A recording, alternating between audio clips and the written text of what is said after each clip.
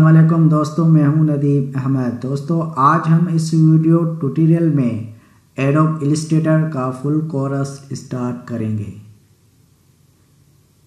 दोस्तों, अगर आप ये कोर्स सीखना चाहते हो तो सबसे पहले मेरे चैनल एक्सट्रीम मैक्स को ज़रूर सब्सक्राइब करें और बेल आइकन को ज़रूर प्रेस करें ताकि हर नई आने वाली वीडियो आप तक पहुँचे। तो दोस्तों, चलिए हम फ़र्स्ट क्लास स्टार्ट करेंगे।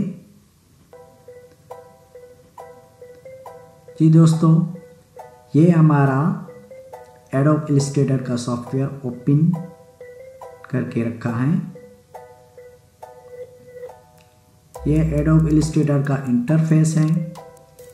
यहाँ पे देखो, ऊपर ये हमारी मेन्यू बार है। इसको हम मेन्यू बार कहलाते हैं। मेन्यू बार में file, edit, object drive select, effect, view, window help ये सब मेन्यू बार में ही आते हैं। ठीक?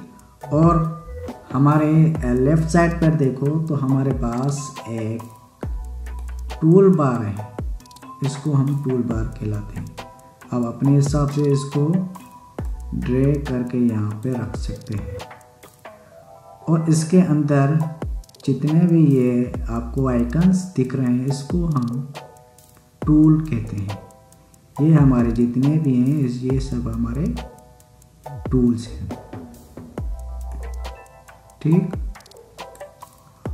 और राइट साइड देखो तो हमारे पास कुछ पैनल्स हैं, इसको हम पैनल कहते हैं।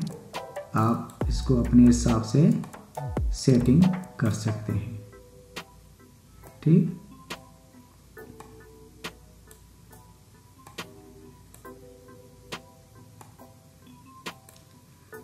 ये हमारे पैनल है। आप ये देखो दो एरो आप इसको ओपन भी कर सकते हैं। ये फुल तबनेल में आ चुका है। आप इन्हें ऑफ़ भी कर सकते हैं। और यहाँ भी आप इसको इस तरह सा कर सकते हैं। ठीक? तो दोस्तों, सबसे पहले तो हम कोई भी ऑब्जेक्ट बनाएँगे लोगो या कोई पम्फलेट कुछ भी बनाएँगे तो सबसे पहले हमको फ़ाइल में जाके न्यू फ़ाइल करना होगा।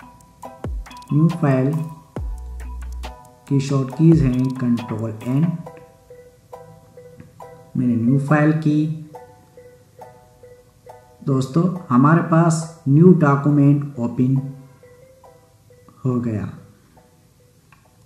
ये हमारी एक विंडो है, जिसको हम न्यू डॉक्यूमेंट बोलते हैं।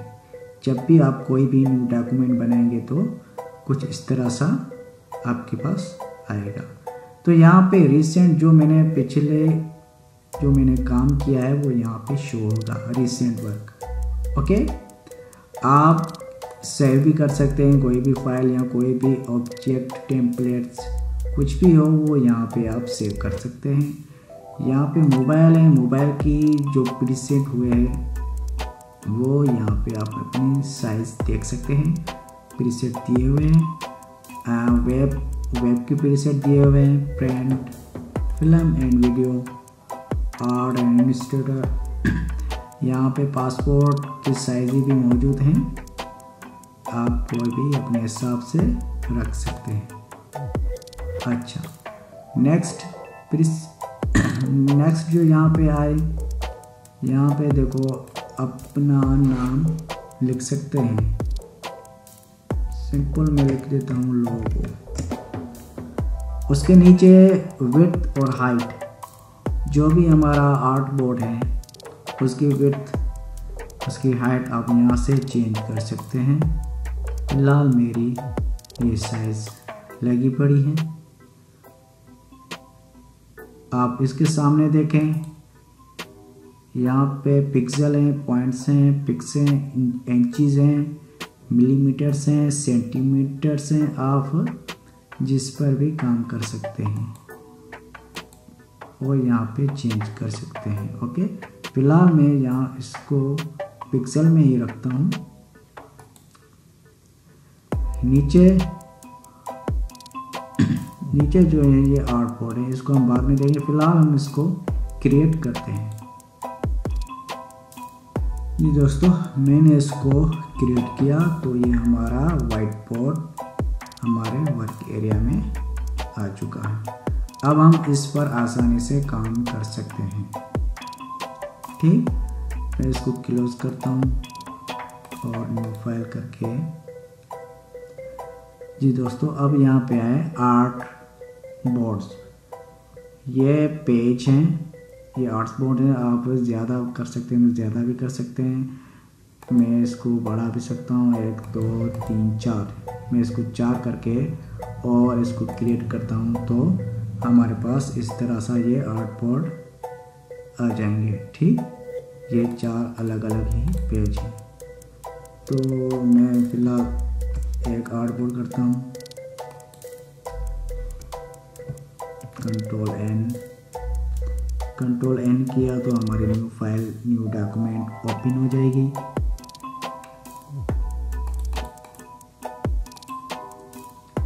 जी दोस्तों अच्छा अब हम टूल बार में जाते हैं।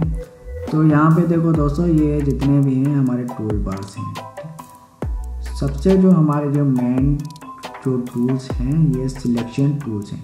एक सिलेक्शन टूल्स और एक डायरेक्ट सिलेक्शन टूल्स इसमें क्या फ़र्क है? देखो, एक ब्लैक है, एक वाइट है। ये हमारे दोनों सिलेक्शन टूल्स हैं। आप कोई भी सॉफ्टवेयर यूज़ करेंगे तो उसमें सिलेक्शन टूल्स होता है, जिस ऑब्जेक्ट को आप मूव कर सकते हैं सिलेक्ट कर सकते हैं। ठीक है? ये हमारे सिलेक्शन टूल्स हैं अब इन दोनों में फ़र्क नहीं है। ठीक? उनको हम बाद में देखेंगे। फ़िलहाल हम सिलेक्शन टूल्स को समझेंगे कि उसके कैसे यूज़ किया जाता है।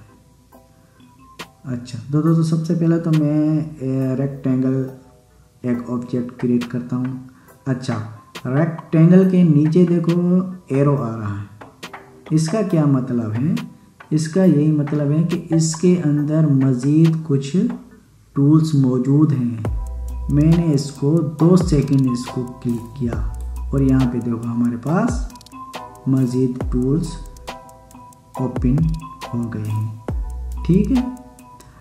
आप चाहे सो राइट क्लिक भी कर सकते हैं तो ये भी आ जाएगा। तो फ़िलहाल मैं इस रेक्टेंगल को क्रिएट करता हूँ शिफ्ट के साथ।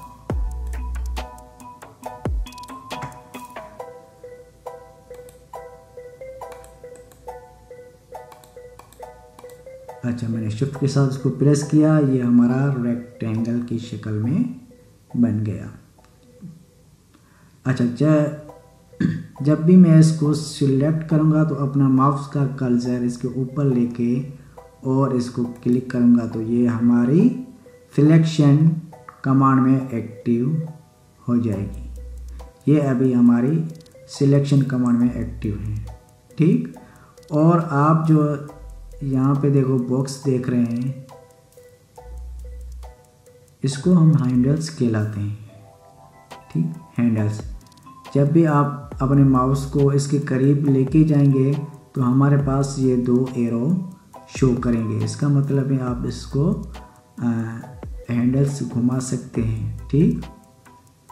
तो मैं इसको क्लिक करके यहाँ पे थोड़ा सा यहाँ पे लेके जाता हूँ। तो ये हमारा राउंड हो गया, ठीक? हैंडल्स अच्छा कंट्रोल जेड करके आप देखो। इसके करीब माउस लेके जाके आप शिफ्ट को प्रेस करेंगे तो ये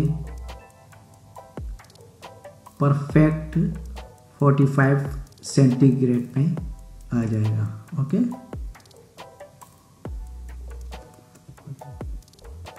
यहाँ पे करेगा तो 90 डिग्री में शो होगा।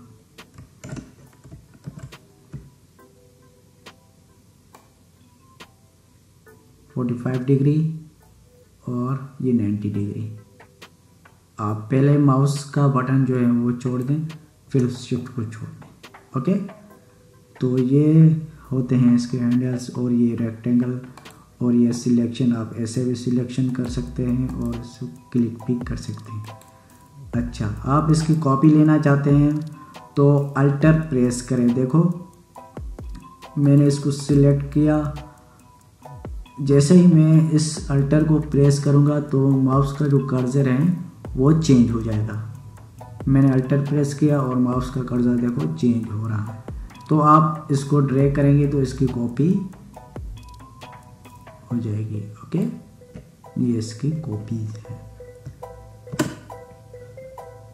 मैंने कंट्रोल जेड किया, वापस कर दिया और इसको मैं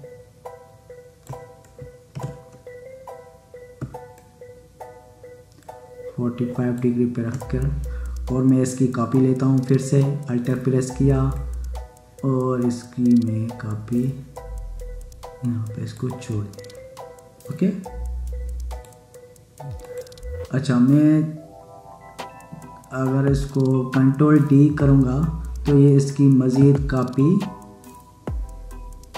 कर देगा। कंट्रोल डी कंट्रोल डी किया तो ये उसकी मज़ीद कापी होती जा रही। अच्छा आप इसको किसी भी वाई एक्स से पोजीशन देंगे कॉपीज़ की, वो वहाँ से इसको लेके जाएगा। इसको इधर से कॉपी लेने तो कंट्रोल टी प्रेस किया। तो ये यहाँ पे हो रहा है। ओके।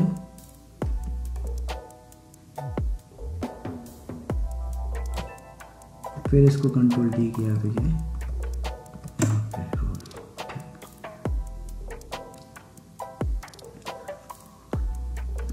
अच्छा दोस्तों, और मैं चाहता हूँ कि ये दोनों ही कापी हो जाए। तो मैं इसको दोनों को सिलेक्ट करके और अल्टर प्रेस करूँगा और इसको यहाँ पे ड्रैग करूँगा। और माउस का कलर छोड़कर अल्टर कंट्रोल टी प्रेस करूँगा तो ये उसकी कॉपीज़ लेकर जाएगा। ओके दोस्तों तो दोस्तों, आज तक इस क्लास में इतना ही काफ़ी है। इन नेक्स्ट क्लास में और भी बहुत टूल्स हैं। छोटी छोटी क्लास में लेता चाहूँगा ताकि आपको समझ में आए। और आपने अभी तक मेरे चैनल को सब्सक्राइबर नहीं किया तो बर मेहरबानी मेरे चैनल को ज़रूर सब्सक्राइब करें और बिल आइकन को ज़रूर प्रेस करें। अल्लाह हाफिज़।